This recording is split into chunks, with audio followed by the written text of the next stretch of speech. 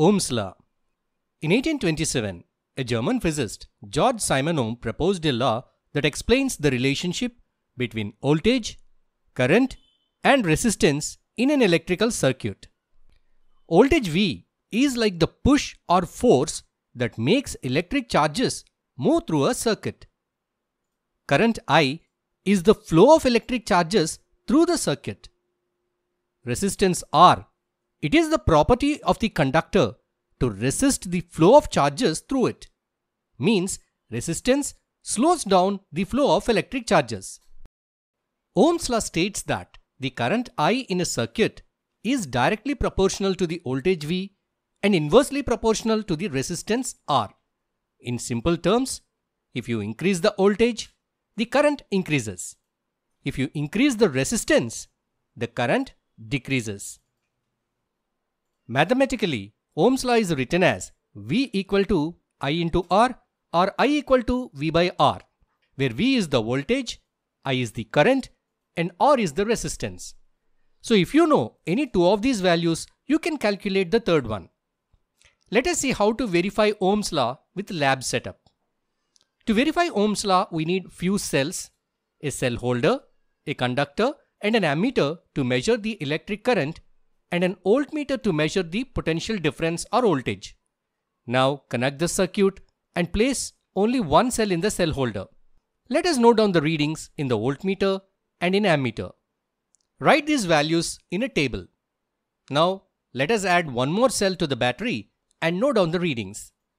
Take the readings with 3 cells and next with 4 cells. Now let us observe the table and the values recorded.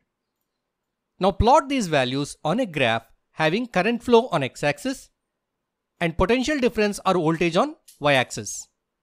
With one cell, the current value is 0.15 and voltage is 0.3 and with two cells, the current value is 0.25 and voltage is 0.5.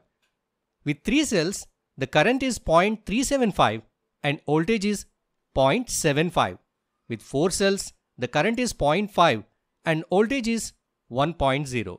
So we have plotted these values on the graph.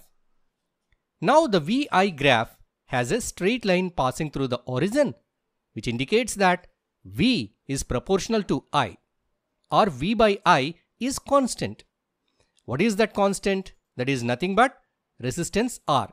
So V by I equal to R. V equal to IR or we can write I equal to V by R.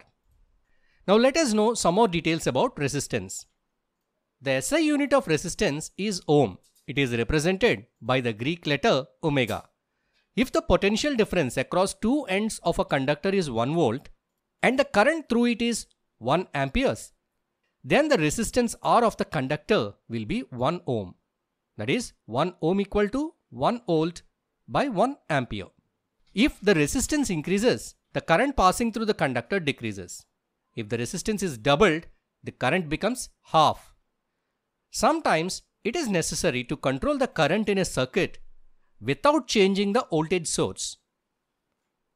In this situation, a compound called variable resistance or rheostat is used to adjust the current in a circuit. Rheostat is commonly used in electric circuits to change the resistance and control the current. Thanks for watching. Please like the video. Please share this video with your friends.